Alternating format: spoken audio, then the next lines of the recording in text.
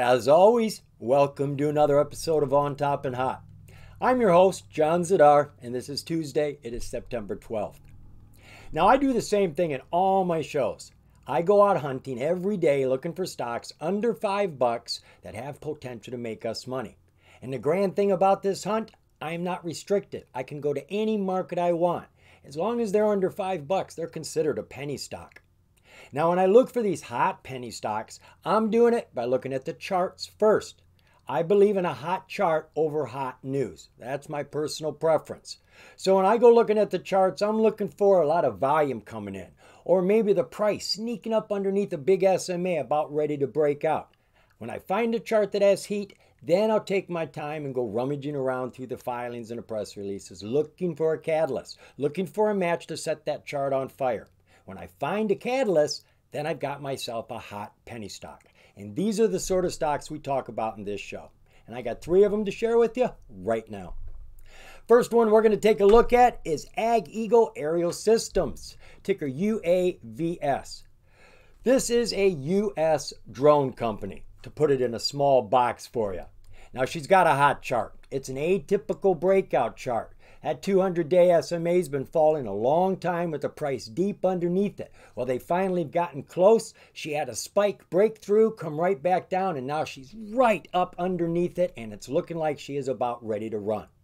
Now, the company hasn't got what I would call a direct catalyst, no news that's come out yesterday or today, but they've got great financials, jumped a lot since last year, and they've got lots of things happening. Business is picking up and going on, so everything looks good. Charts are set up. Why shouldn't it break out? So UAVS, she finished the day still climbing after market at 20.2 cents, a little over 9% gains. Now, this is a penny stock on the major exchange, New York Stock Exchange. This comes with benefits. Major exchange penny stocks you can trade for free. There are no transaction fees, and you can trade them pre market, after market. No, you don't need any special training or permission. Just get in there and trade. Only thing you got to remember is it's not a day trade. It's an extended period trade. So you got to change the time period on your order. Outside of that, you can trade pre-market after market. So what does this company do? Well, we're not going to read this description. Now, I know UAVS took over this ticker a long time ago. I don't know how long, but they've never updated their description. But you know I know where to get one. Over here in the most recent press release.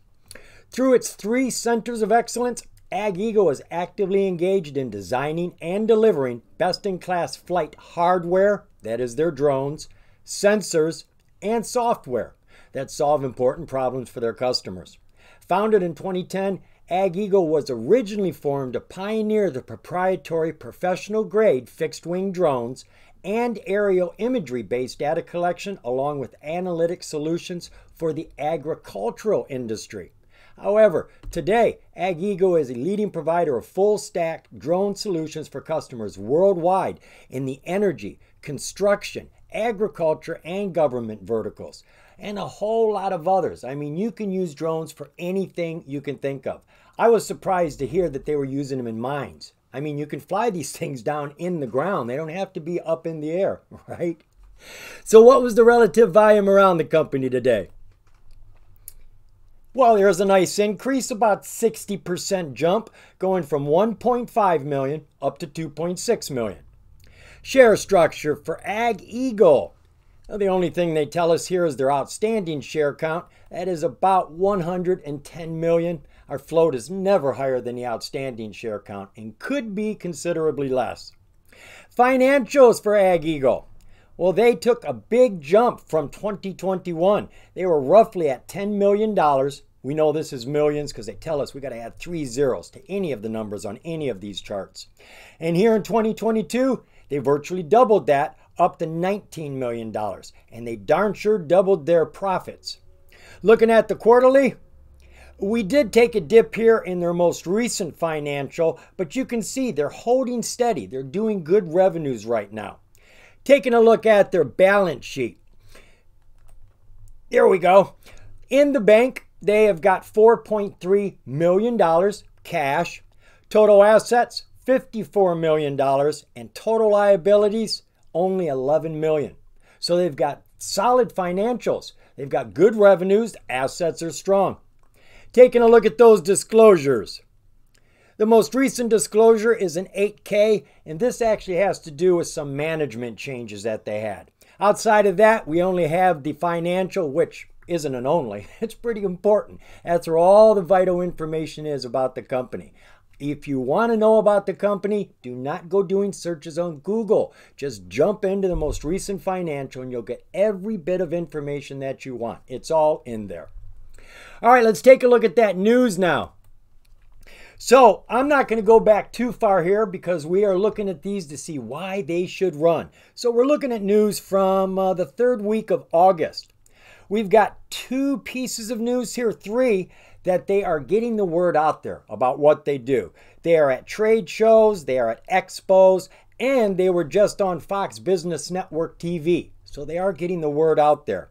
Outside of that, in August, they had a deal with Kelluu unmanned airships. They equipped themselves with Ag Eagle's Red Edge P multispectral sensors. And this is over in Finland. So it may be a US company, but they can work anywhere in the world. And the other piece of news Ag Eagle launches the new eBee Vision drone, now accepting orders from customers worldwide. They have just opened up the doors to take customers. I mean, that's it just happened here uh, September 6th. Now, the new eBee Vision, that is a single wing drone like all of theirs. I think they have about a half dozen of them. I really don't know the differences between them. Maybe they're different sizes, probably do different things. But this is the one that they are now pushing. So I see a lot going on here. The revenues are steady and strong. They're doing business. They're out there spreading the word. And the chart is set up for a breakout. Matter of fact, she's doing it right now.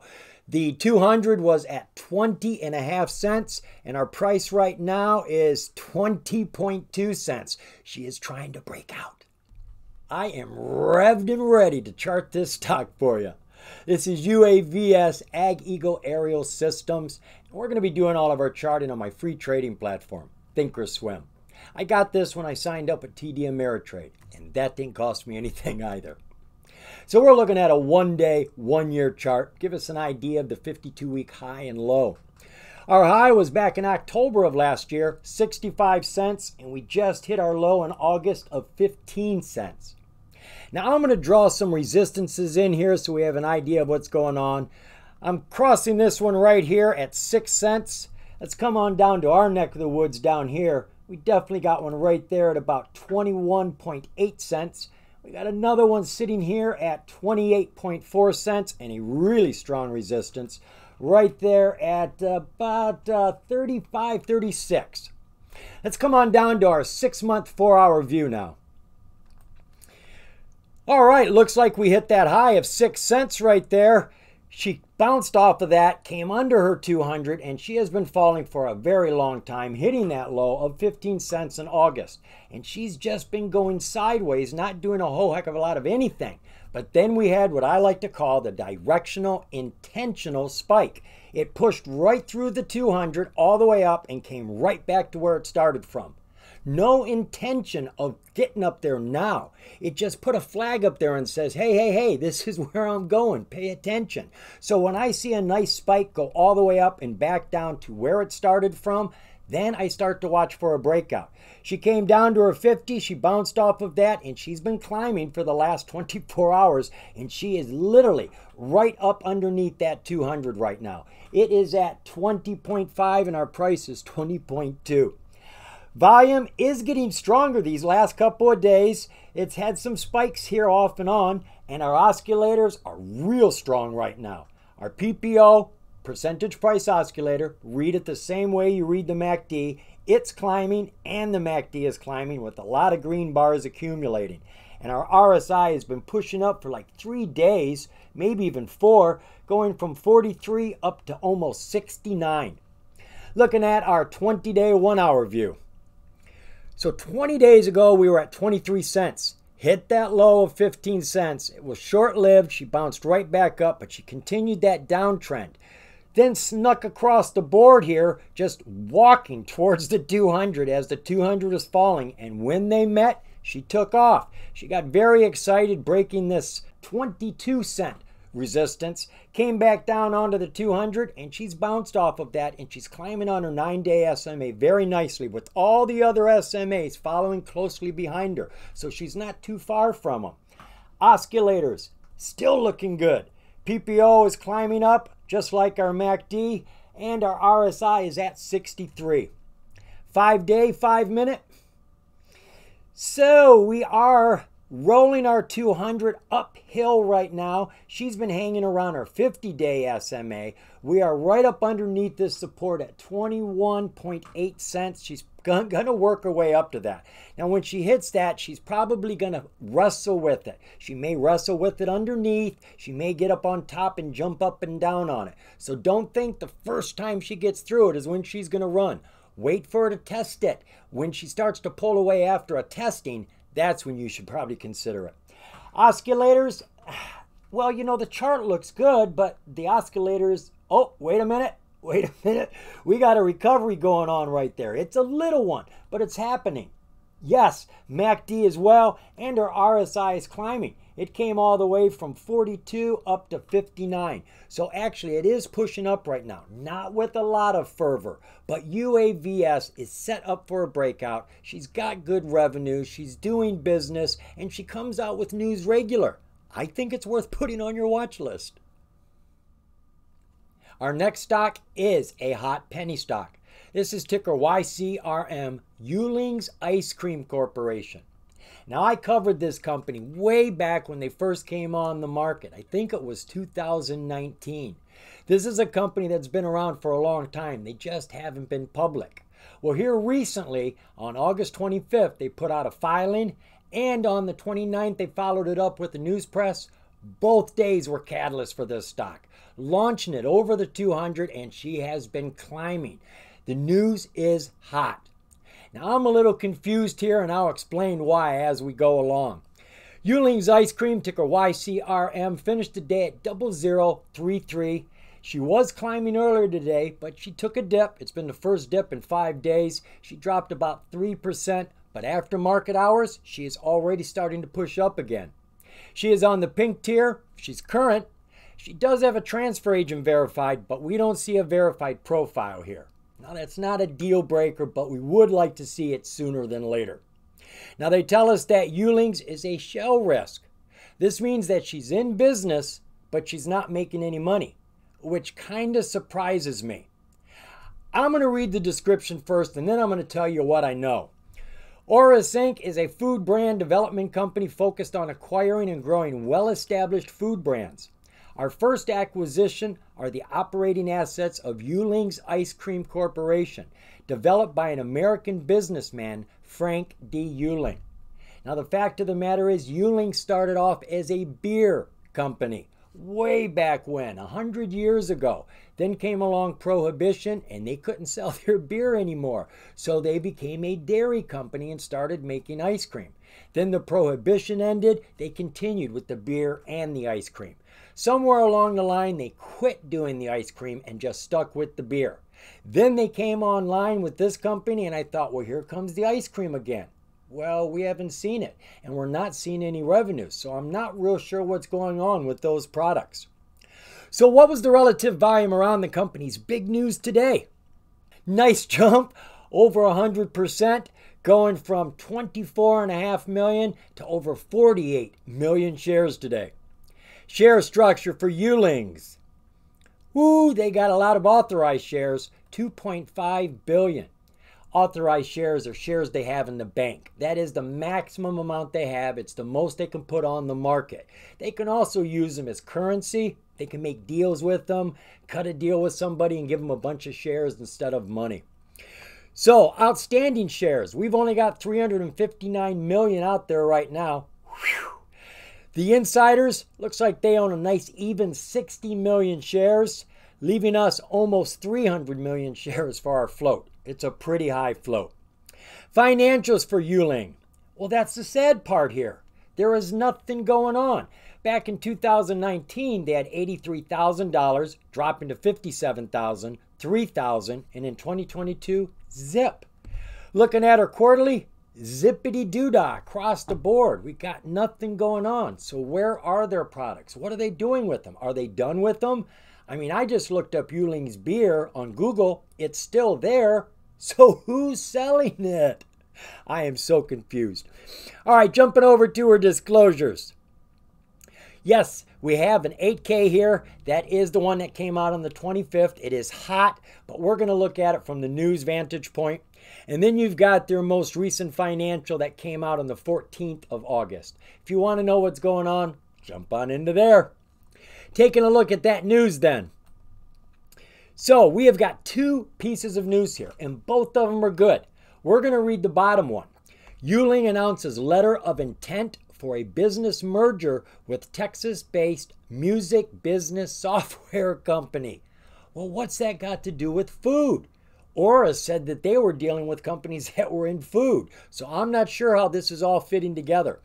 The other piece of news we're not going to take a look at Yuengling's Ice Cream settles last convertible promissory notes with holders. They've gotten rid of their debt they're in a good position. Now, maybe they needed to do that to make this deal with this Texas based music business software company.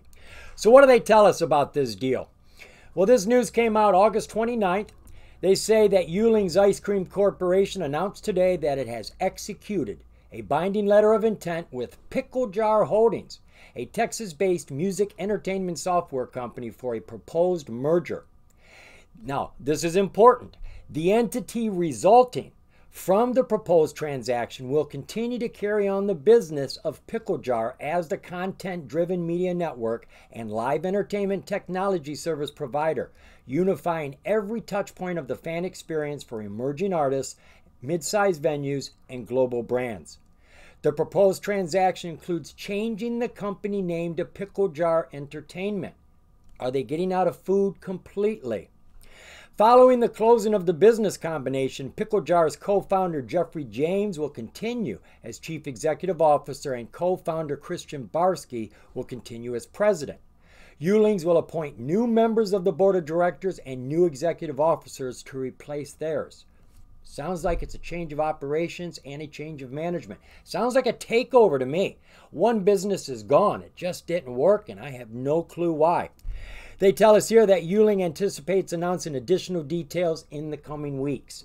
No guarantee there, but that's what they say.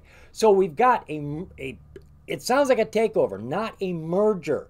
Aureus was dealing with food companies. Yuengling was a food company, beer and ice cream. And I don't see either one of them making them any money. Though I do see one of them on the market, and I still am scratching my head.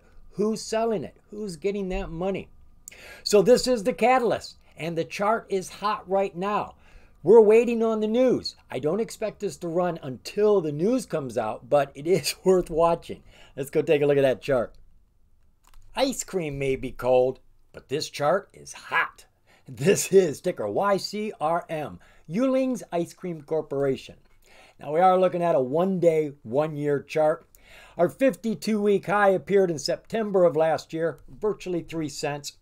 We hit a 52 week low in May of 0005. Now we had a nice run here back in December, jumping from 008 up to 025. That is a 300% run right there. Now I have marked this run off with a resistance on the bottom, the top, and dead center because I believe these will come into play when our price gets back up into those zones. Coming down to our six month, four hour view, Five months ago, we hit a high of almost a penny. That was in February. She fell very fast and hard down to this low. Then she just went sideways, riding on this 50 day SMA until the 200 got close. She tapped it once, came down, broke it, came back down underneath, but no lower than where she started. That's important. Then she rolls around and she took off. She started down here at 0007 and went all the way up to 0047, you're looking at about 600% gains right there, folks. Volume has been strong for the last 10 days. Oscillators are very strong, though we are seeing a cool off on our RSI, but it's still way up in the overbought at 82. Looking at our 20 day one hour view. So there's our tap on the 200 on the one hour, our breakout looks like the four hour chart, and then she took off. She did have a nice bump from yesterday to this morning, but then she fell. She hit a high of 0047 and she fell all the way down here. It looks to be about 0036 right now, maybe 37. Our SMAs look good. She is sitting on top of the nine day SMA, and all of the others are following right behind her. Oscillators have cooled off a bit, as you would expect. Looking at that five day, five minute, now that's not a bad chart. We've got a low down here of triple zero seven, and then we've got double zero four seven. 600% run right there, folks. She's come back down, keeping well over 50%, and you can see we've got a nice bounce after market here. She's put herself on top of the 50. Looks like she's ready to continue going. And look at our oscillators. Don't they say that? This is coming back around across that pink and get on top. We just had our crossover on our MACD. Green bars are accumulating. And look at that RSI jumping from 37 up to 60. It is looking good, folks. YCRM used to sell beer, used to sell ice cream. Doesn't look like they've been selling anything. And now they're getting into the music business. I really don't have a lot more information. Do some more due diligence. In the meantime, throw YCRM on your watch list. She's doing a lot right now. If you're like me and you really like stocks that have hot charts, you're going to love this one. This is ticker XOS. This is Xos Inc. It is an atypical breakout chart that broke out today, but is set back up. She did her initial breakout with a bounce from 30 cents to 55 cents with a very long wick. Came all the way back down right up underneath the 200, and she is sitting there right now. And she just came out with a huge piece of news that is very exciting. Xos Inc. finished today at 35 and a half cents with over 14% gains. She too is on the major exchange, the NASDAQ. So, what does Xos do?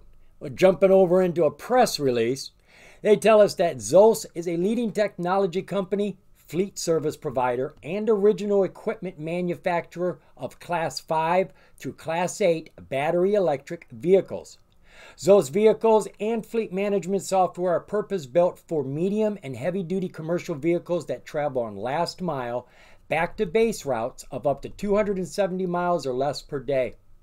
The company leverages its proprietary technologies to provide commercial fleets with battery electric vehicles that are easier to maintain and more cost efficient on a total cost of ownership basis than their internal combustion engine counterparts. So, what was the relative volume around the company today? Yeah, yes, that's what I'm talking about. Nice increase, jumping from roughly a half a million shares up to 2.2 million. You're looking at over a 400% increase in our volume today. Share structure for Xos. They don't give us a lot of information here. They tell us the outstanding share count is 176 million. We know the float isn't going to be any higher than that, and we're praying it's going to be significantly lower. Looking at the financials for the company. Wow, huge leaps and bounds. From 2020 to 2021, she virtually doubled her revenues, going from 2.6 million to 5 million. But look at 2022, going from 5 million to 36 million. Wow! But don't get too excited. Look at the bottom. The more money they make, the more money they lose. Holy cow! Let's take a look at that quarterly. Well, they had some very strong quarters last year 9 million, 11 million, 8 million, and now they've dropped down to 4.6 and 4.7 million, and they're still losing money. Somebody needs to tweak this formula real quick. Let's take a quick look at that balance sheet, see what we got over here. All right, in the bank, cash, they've got over $38 million. Not bad. Total assets 189 million Total liabilities are only 45 million. So assets wise, they're doing real good. They're making strong revenues, but they're running at a loss. So they do need to tweak something there. Taking a look at her disclosures. Right. We had a bunch of Form 4s that were filed August 14th. Form 4s are whenever the insiders acquire or dispose of the company's stock. Now, we're most interested in when they buy or sell them. They can get them in a lot of different ways. Well, these are all sales. But don't worry, they weren't big. Let me give you an example here. This is the chief operating officer. He just sold 3,000 shares for 42 cents. That's not very much money, folks. I doubt he even could pay his mortgage with it. And what's most important here is look how many shares he's got 27 million. And he only sold 3,000. And that's really what you got going on over here with the rest of these Form 4s. They're all small sales. Nothing to be concerned about. So let's take a look at that news now. So we are going back here to the start of August. The company secured a purchase order for 30 trucks from a repeat customer. They are purchasing a total of 200 vehicles. They have added 30 more to it. At the end of August, the company demos their power of the Xos Hub across multiple use cases. Now, as far as I can tell, the Xos Hub is, well, to make it easy, it's a gas station that gives you electricity. They build them wherever you want them and you can use them for your fleets. And they came up with a program here for their customers that if they will build a Xos hub, they can get a discount of $160,000. So that goes to show you how expensive a Xos hub can be.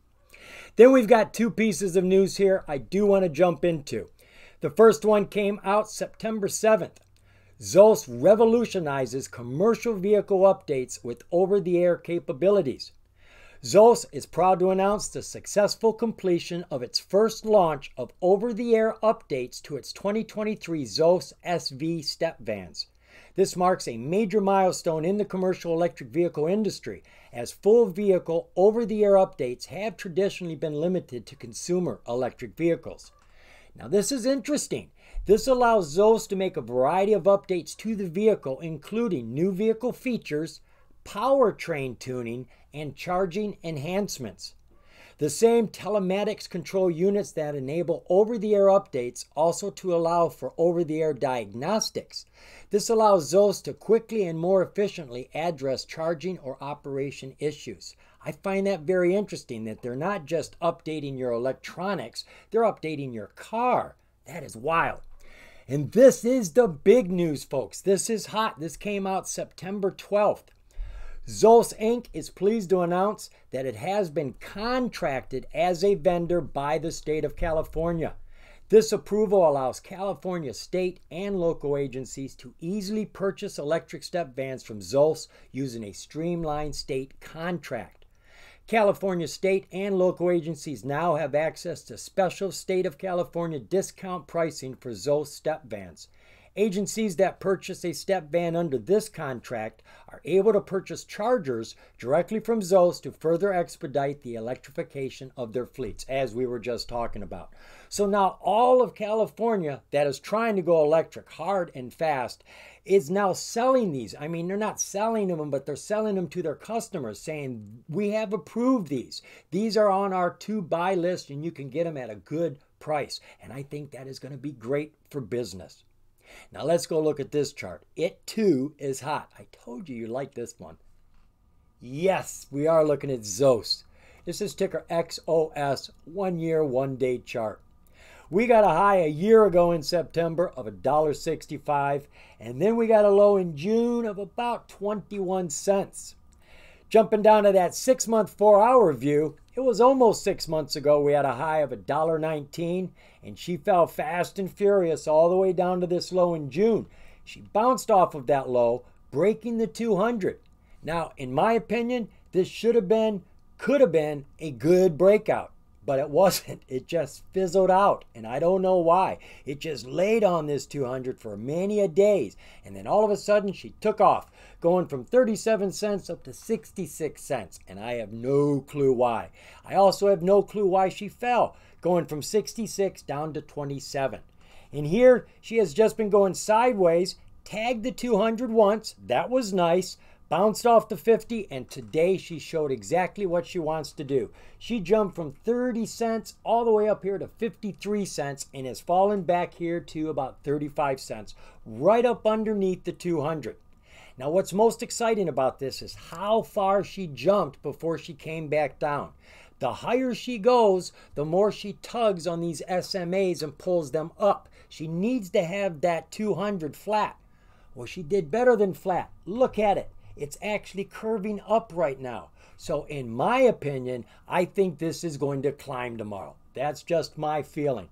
Volume is getting stronger. Oscillators are looking good. Our PPO and our MACD are both pushing up with a lot of green bars here. And our RSI is up at 63, pushing up as well. 20 day, one hour view. Well, she was way under the 200 there for quite a while. It was only about six days ago she got on top of the 200, laid on that for a little bit, and now she's pushed off. There was that big jump coming back down, and she's on top of her nine day SMA. Everything is looking nice here. Oscillators are strong, but they have a little bit of cooling down, but nothing I'm concerned with. Five day, five minute. All right, she's growing really slow right now, but she is growing. She's on top of her 200 predominantly. She does dip under it a little bit. She's bouncing off of it. That shows you that she sees it as a support, a floor she can trust and she is floating above it right now on her 50-day SMA.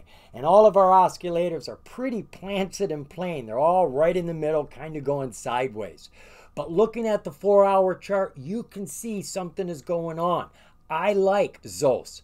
Yeah, she needs to tweak her financials, but her assets are strong, and she just got California as a customer, the whole state. Xos, don't you think it belongs on your watch list? Hope you aren't too bummed out that I didn't give you any cannabis stocks today. Cannabis is still running. Some are cooling off. New ones are taking off. ACB was very impressive today. But the stocks I'm sharing with you, they're running on their own rights. They've all got catalysts and they've all got hot charts. What they need now is a little more due diligence. So don't let me down. Remember, the more you know, the more you're going to grow. See ya.